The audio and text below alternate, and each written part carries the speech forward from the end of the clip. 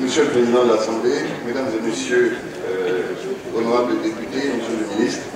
je voudrais tout simplement vous remercier pour avoir euh, permis à la Guinée de rattraper un très grand retard dans la ratification d'un certain nombre de conventions.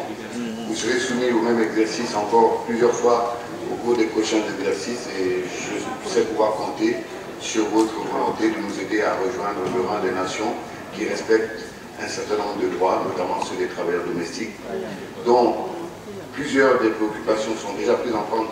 dans notre droit positif, mais pour lesquelles cette convention est, est une avancée majeure. Encore une fois, merci au nom de, de tous les travailleurs domestiques dans le secteur de la construction, le secteur des mines et les autres secteurs évidemment, et restant à votre disposition pour toutes vos contributions et toutes les informations que le département pourrait vous amener afin de vous permettre de mieux protéger les droits de ces différents travailleurs. Merci encore.